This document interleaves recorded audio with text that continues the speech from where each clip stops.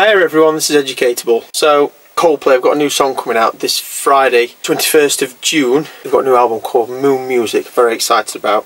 That's not till October, but first song off of that album coming out called Feels Like I'm Falling in Love. Surprise, surprise, they nicked that one off me.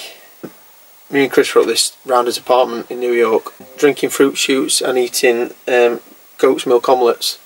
We wrote the song together. Uh, before the version comes out, that there's just too many drums and bass and everything. I thought I'd play it how we wrote it together, me and Chris Martin. We're best friends. You're going to be hearing this a lot, so when you hear this, please don't think of multi-millionaires Coldplay. Please think of multi-hundred uh, educatable, actually. My version might be better than theirs once you hear it on Friday. It well, probably will, but it says I was okay just to give you a preview. So yeah, enjoy my version of it. Know that this could end only bad.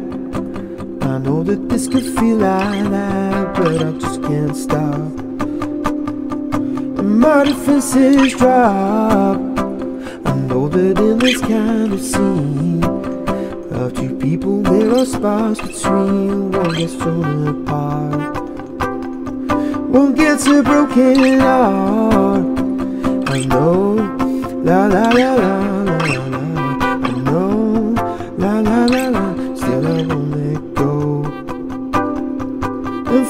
Flowers grow. It feels like we're falling in love. Maybe for the first time. Maybe it's in my mind. You blow. It feels like we're falling in